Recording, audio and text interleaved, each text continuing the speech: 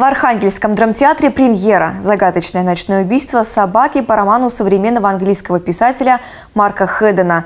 В этой социальной драме нашлось место детективной интриги и проблемам отцов и детей. Как заверил режиссер, на репетициях ни одна собака не пострадала.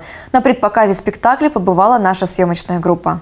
Он не смотрит людям в глаза, стену между подростком и окружающими не пробить даже касанием руки. Главный герой пьесы Кристофер страдает синдромом Аспергера. Мир кажется мальчику враждебным, спасает лишь любимая математика. Кристофер – это маленький человек в футляре. Лишь расследование убийства соседской собаки заставляет его нарушить эту обособленность и объединить вокруг себя близких людей. Это как сыграть инопланетянина да, не понимая человеческие эмоции, не понимая человеческие лица, не смотря вообще в человеческие лица, не касаясь и с какими-то, с огромным количеством страхов, конечно, сложно.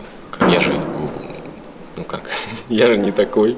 «Загадочное ночное убийство собаки» – это роман английского писателя Марка Хеддена. Для сцены его адаптировали в Британии.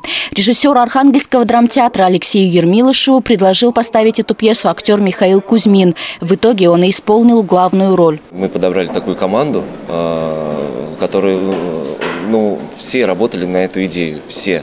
Абсолютно. То есть э, у нас атмосфера на репетициях была ну, полное взаимопонимание, да, и все, всем понравился этот материал. В эту команду влился и питомец самого режиссера. Черный лабрадор по кличке Рэй дебютировал в качестве актера. Проблема отцов и детей, одиночество и отчужденности – это вечные темы, о которых актеры рассуждают на сцене.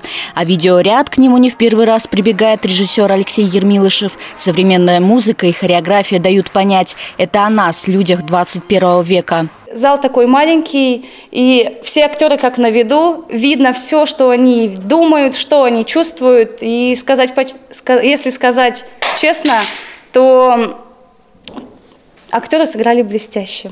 Уже на предпоказе зрители отметили особую пронзительность постановки. Во время поклона пошла цепная реакция. Ладонь к ладони. Актеры и люди в зале объединились. Кристофер объединил их. Элла Микушева, Сергей Зелинский. Время региона.